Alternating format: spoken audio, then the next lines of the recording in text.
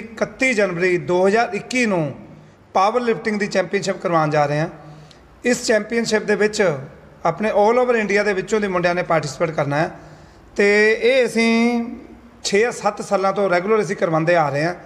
ਤੇ ਇਸ ਜਿਹੜੀ ਇਸ ਵਾਰੀ ਐਸੋਸੀਏਸ਼ਨ ਦੇ ਨਾਲ ਜੁੜ ਕੇ ਅਸੀਂ ਕੰਪੀਟੀਸ਼ਨ ਕਰਵਾਉਣ ਜਾ ਰਹੇ ਹਾਂ। ਇਹ ਸਾਡੀ ਆਪਣਾ powerlifting federation of India global powerlifting alliance GPA and international powerlifting organisation ਆ ਜਿਹਦੇ ਨਾਲ ਅਸੀਂ ਜੁੜ ਕੇ ਇਹ 31 ਜਨਵਰੀ ਨੂੰ ਇੱਕ ਬਹੁਤ ਵੱਡੇ ਲੈਵਲ ਤੇ ਬਹੁਤ ਵੱਡੇ ਪੱਧਰ ਤੇ ਇਹ ਕੰਪੀਟੀਸ਼ਨ ਕਰਵਾਉਣ ਜਾ ਰਹੇ ਹਾਂ। ਇਸ ਕੰਪੀਟੀਸ਼ਨ ਦੇ ਵਿੱਚ ਜਿਹੜੇ ਮੈਨ ਸੀ ਜਿਹੜੇ ਮੈਨ ਨੇ ਇਹਦੇ ਵਿੱਚ 56 ਕਿਲੋ ਤੋਂ ਬਿਲੋ 56 ਤੋਂ ਸ਼ੁਰੂ ਹੋ ਜਾਣਾ।